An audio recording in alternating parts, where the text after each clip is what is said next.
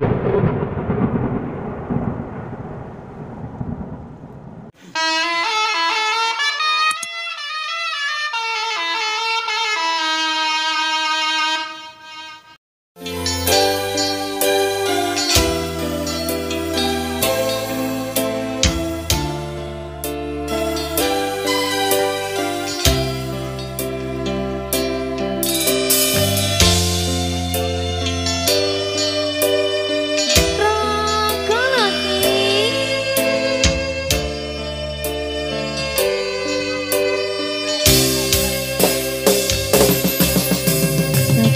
koe.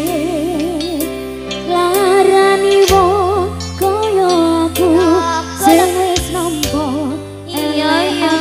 uripmu lilo aku lilo berjuang mati-matian nanging